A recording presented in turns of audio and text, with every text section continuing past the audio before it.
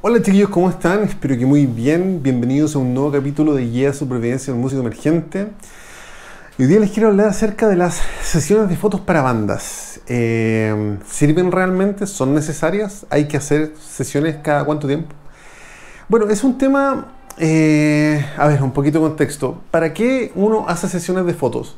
Porque todo entra por la vista, chiquillos. Todo entra por la vista. La portada del disco, el logo, la foto se va a ver primero. y es importante que sea, este, siempre esté bien presentado. Y yo creo que las bandas emergentes en Ch- en Chile en general, y me incluyo, nos caemos mucho en el tema de la presentación. Eh, bueno, de hecho, un poquito de contexto, yo tengo 36 años, he tocado harto en banda, he sacado cuatro discos, qué sé yo. Y nunca en mi vida había hecho una sesión de fotos, po. ¿cachai? Siempre la foto de la tocata, típico que se ve muy bien, ¿cachai? Siempre la foto del amigo, la foto del celular, pero hacer una sesión de fotos propiamente tal, la verdad es que yo nunca lo había hecho.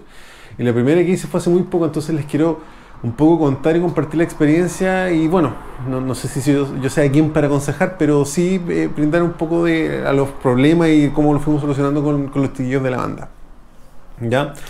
Entonces, insisto, nosotros, ¿por qué hacemos una sesión de fotos? Porque todo, todo entra por la vista. Ya, teniendo eso claro, eh, bueno, a mí también me pasa un poco que yo no lo hacía como por, por vanidad, me da como un poco vergüenza. De hecho, me acuerdo, hace mil años atrás, por ahí en los 2000, eh, yo eh, estaba participando en un concurso de bandas y una banda que ganó una ronda, qué sé yo, que estábamos más o menos iguales, o que nos ganó a nosotros una ronda fue algo así, esa banda se tenía que hacer una sesión de fotos promocional, como una especie de requisito premio para seguir avanzando. Y esa banda eh, no quisieron hacerse las fotos porque era venderse, porque era muy superficial, porque era muy vanidoso, y porque lo importante es la música. E, En ese, más o menos eso plantearon ellos. Y en ese momento dije, sí, pues está bien, pues lo importante es la música, las fotos, qué sé yo, pero uno cuando es más pico se va cuenta que estas cosas al final son una suma de detalles lo que arma un buen producto. Entonces, el consejo es precisamente, yo creo que hacer una sesión de fotos, hablar con un diseñador para que haga la portada, para que haga el logo, qué sé yo. eh, creo que el, consejo queda un poco de cajón en el fondo.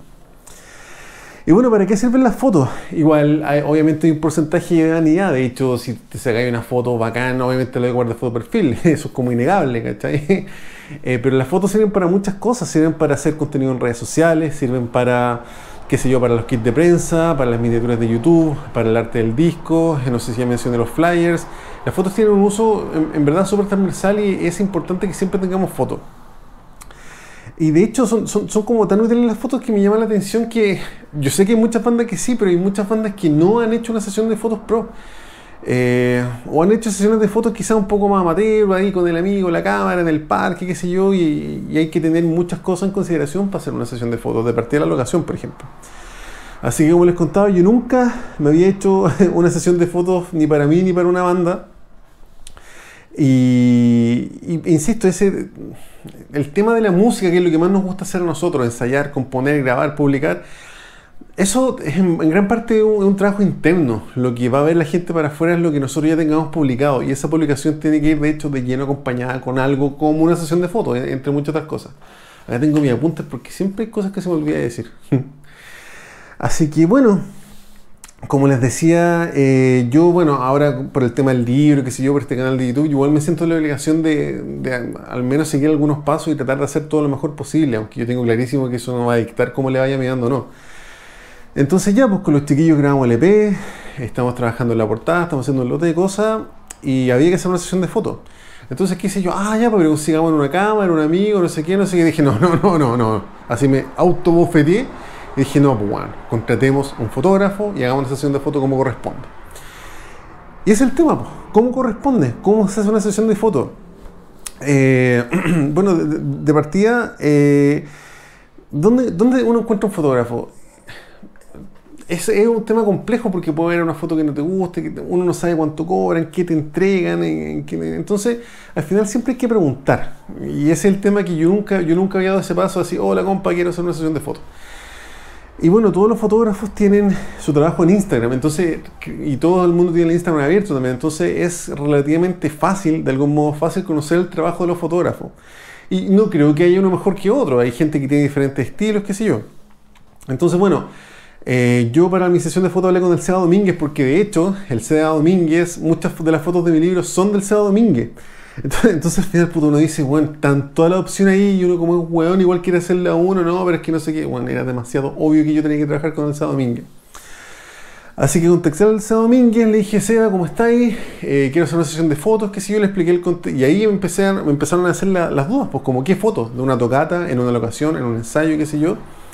Y yo entiendo que las fotos de locación, que son como las fotos más poseras, si se quiere, eh, tengan que estar, pero yo igual quería tener una sesión de fotos con instrumento.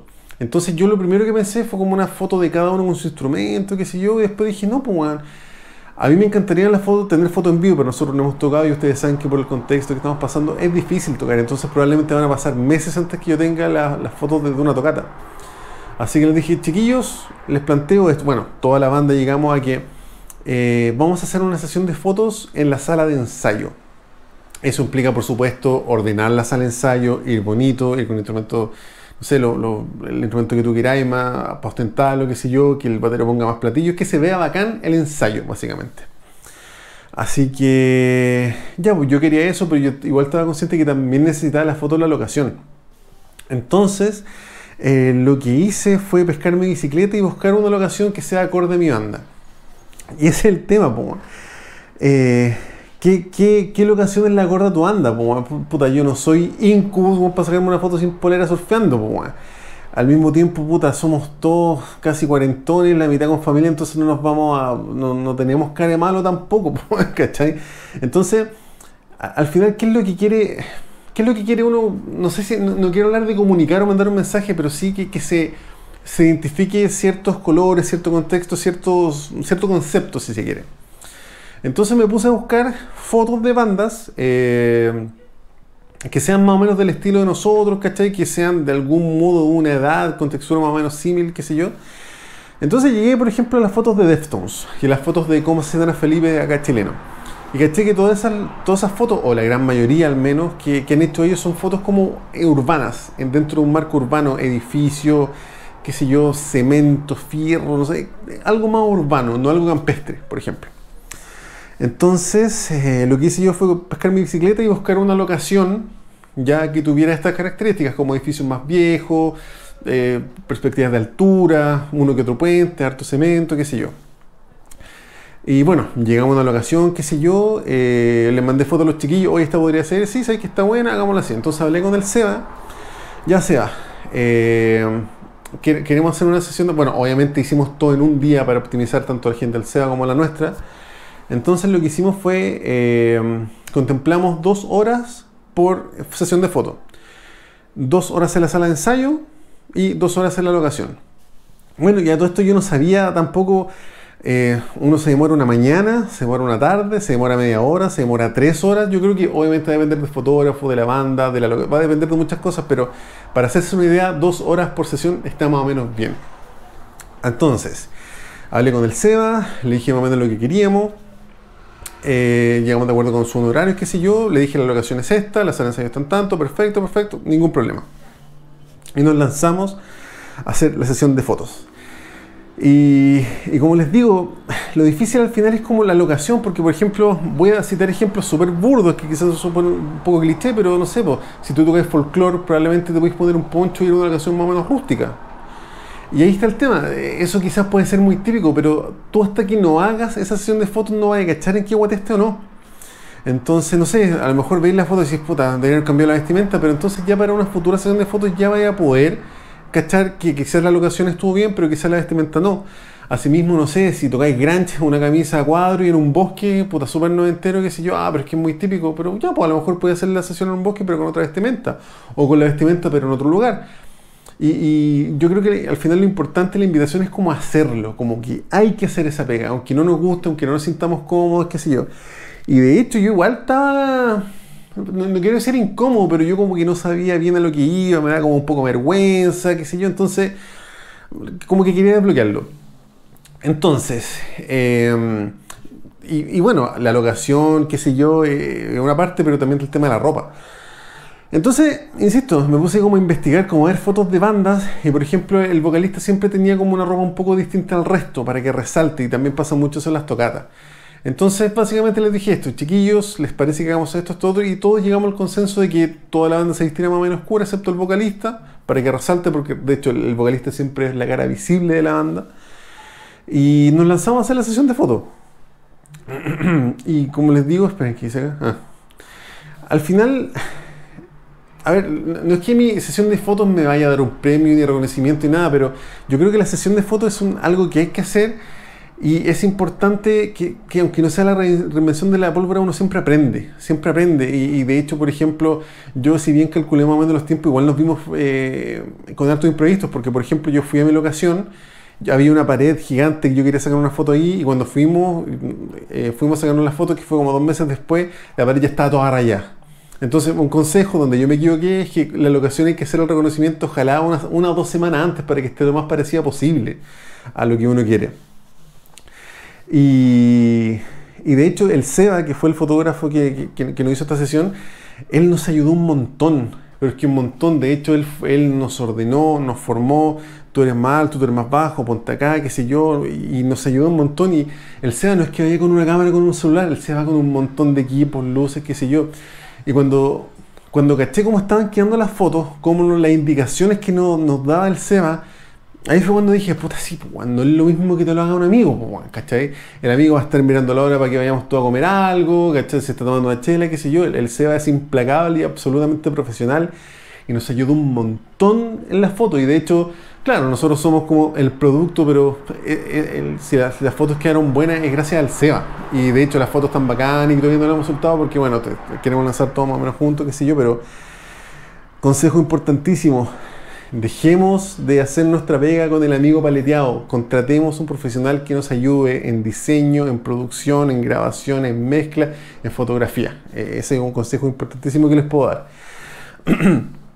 eh, insisto, la invitación es hacerlo porque aunque, aunque mis fotos no vayan a ser tan buenas, yo ya desbloqueé hacer una sesión de fotos, entonces ahora cuando vaya a hacer una sesión de fotos, por ejemplo, podemos ir a dos locaciones para que sean dos fotos distintas y dejar el ensayo para otra, o bien eh, eh, contratar al SEA solamente para la, la, tocata, qué sé yo, entonces todos esos parámetros uno los aprende y todos esos errores uno los también aprende de los errores simplemente haciéndolo.